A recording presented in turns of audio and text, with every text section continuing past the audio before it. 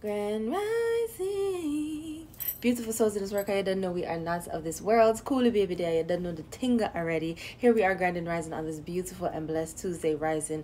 Listen, beloved, this is for those of you that knows Christ and have been walking and striving. Okay, you have been fighting this good fight, beloved. God says, keep going.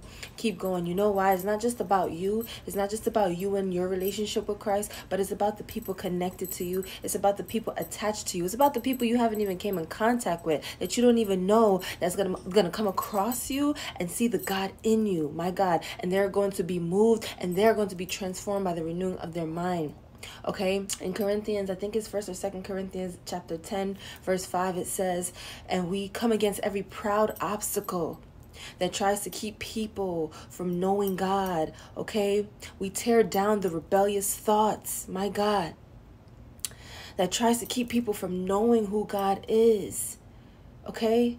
Let me tell you something. Keep going in your faith. Keep going in your ministry. Keep going with the deeds that God has told you and instructed you to do. It's not for nothing, beloved. And there's people that you don't even know that are being touched right now based upon your obedience. You have no idea. Beloved, keep going. Make sure you know who you are.